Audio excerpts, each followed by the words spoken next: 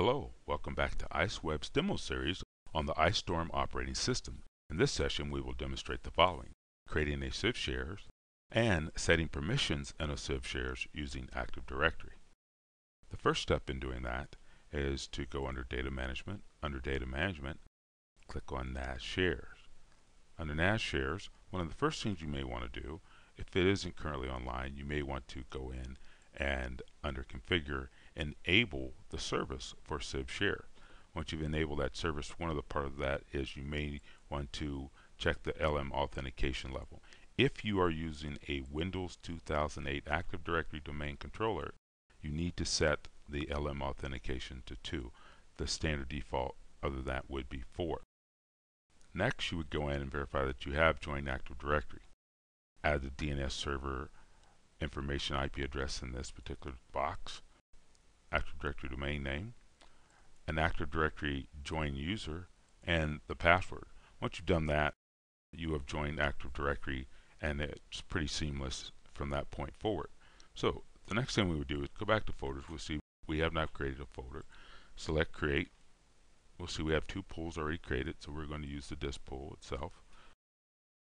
Create a folder. We're going to call this one CIFS underscore share for demonstration purposes, we're going to give a description of CIFS, share, and create. Once we've created the folder, we have not shared it out as you can see, and this is a CIFS or a NAS type share. So we're going to select CIFS.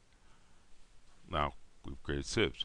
Now, even though we have created CIFS, let's see if we look under our particular storage server in this case, it's called iStorm 2. If you need to verify that, uh, you can go to Settings, go under Appliance, and you can check the host name at that point.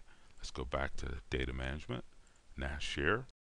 Once we're back in the NAS Share, we will select the folder that we've created, and we're going to go back and take a look at my networking. Find it here. There we go. And you'll see at this point there is, even though we've shared it out, we do not see it at this time. One of the reasons we do not see it this time because we have not given it permissions to do so. So we're going to go and give it permissions and we'll make it dhawker user add the new user dhawker now we're going to go back under and refresh that view and you'll see now I have the CIFS share folder and I have permissions to access that folder. And we can demonstrate that by, let's uh, bring our document up here and do a file. Let's do a save as. And we can go down to our network and we can find my server in here as it populates. Sorry about that. And go to iStorm 2. Go to my share and hello. Test. Okay. So we can go back in and we can verify we have created a test. Open it back up. Edit. And just verify again that we can save it into there. As you can see. Alright so there we go. That demonstrates how to create a CIFS share and use Active Directory to set the permissions on that CIFS share.